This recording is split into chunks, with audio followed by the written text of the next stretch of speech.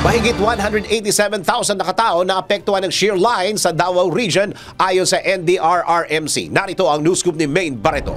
Mahigit 187,000 na katao sa Davao Region ang naapektuhan ng masamang panahon dahil sa epekto ng shear line. Ayon sa National Disaster Risk Reduction Management Council, nagmula sa 100 at siyam o 109 na barangays sa Davao de Oro, Davao del Norte, Davao Occidental at Davao Oriental ang mga apektadong individual.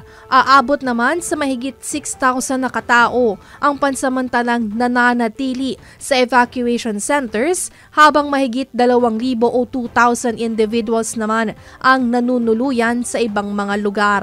Nagpaabot naman ng tulong ang Coast Guard, Southeastern Mindanao at Department of Social Welfare and Development 11 sa mga apektadong residente.